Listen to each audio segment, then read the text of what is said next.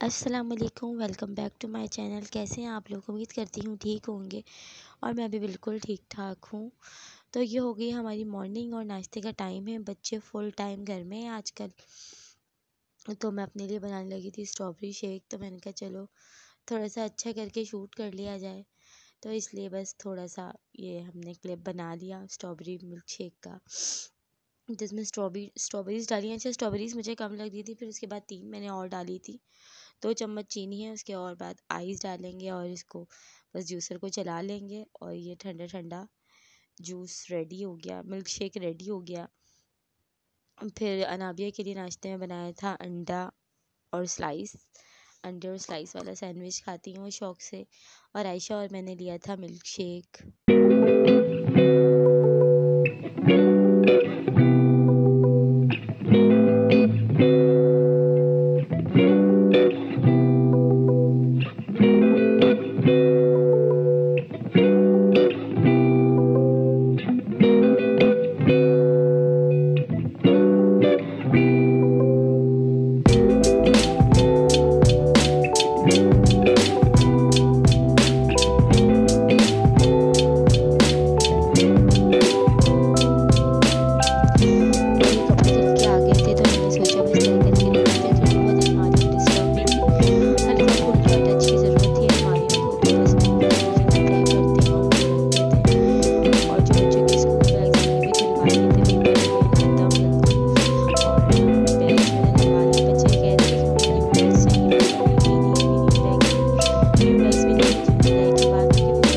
School जाना होगा, रमज़ान में भी टेन डेज़ ऑफ़ कर देंगे।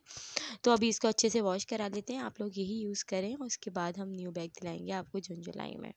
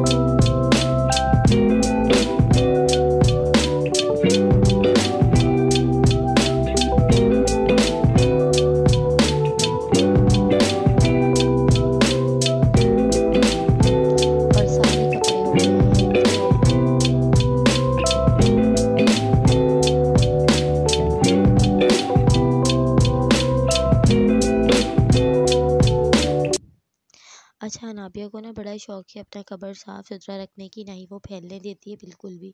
ये है अनाबिया का कबर्ड और ये ऑरेंज बास्केट में उसके सारे ट्राउज़र्स हैं। और बाकी सारी टी शर्ट्स फ्रॉक सब तय करके। अच्छा उन्हें खुद भी शौक है, कभी भी निकालेंगी ना तो उसके बाद भी जो रिटर्न रखेंगी, तय करके ही रखेंगी और अगर उनका कबर्ड ख़राब हो जाए तो फिर मुझे कहती है, जब बहुत ज़्यादा हो जाता है कि मम्मा के, मेरे साथ हेल्प करा लें, नहीं तो फिर खुद ही अपना कबर्ड साफ़ रखती हैं। और ये मेरे हस्बैंड के हैं। ये भी मैंने तय लगा दी है। अच्छा ये अलमारी जो है ना, ये हमारी सांस की अलमारी है। इससे बहुत यादें जुड़ी हैं मेरे हस्बैंड की भी और फिर हम बहुत मज़बूत भी अलमारी है ये ना। तो हम इसको कभी निकालने के बारे में सोच भी नहीं सकते।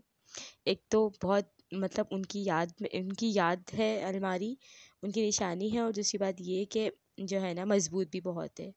और ये मैंने अपने कपड़े भी तय लगा के कबर्ड में रख दिए हैं और ये कपड़े धुल के आके तय करने का सबसे बड़ा काम निपट गया है आज के दिन में।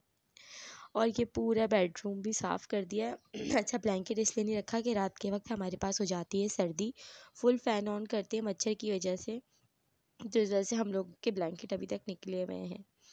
घर हमारा थोड़ा सा ठंडा रहता है तो रात में हमें सर्दी लगने लगती है। और जी टमाटरों का क्या हाल है आपकी तरफ़? हमारे पास तो इतने टमाटर आए हुए हैं और टमाटर इतने सस्ते हुए हुए हैं। कि पाँच पाँच किलो से कम तो कोई भी लेके ही नहीं आ रहा है। तो मैंने कहा, कहाँ रखूँ इतना? इतने ज़्यादा तो यूज़ भी नहीं है।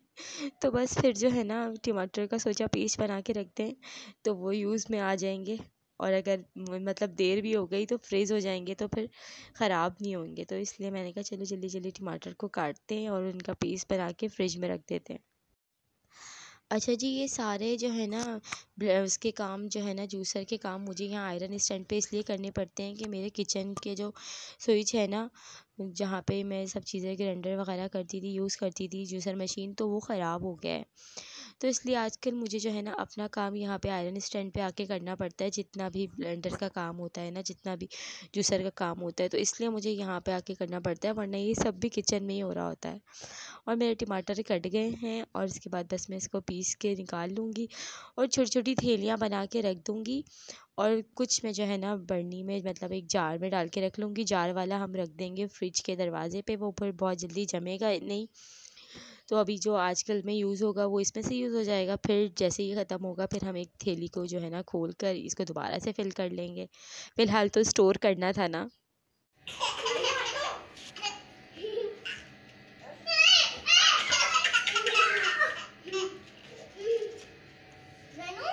आयशा, सामने से हटो।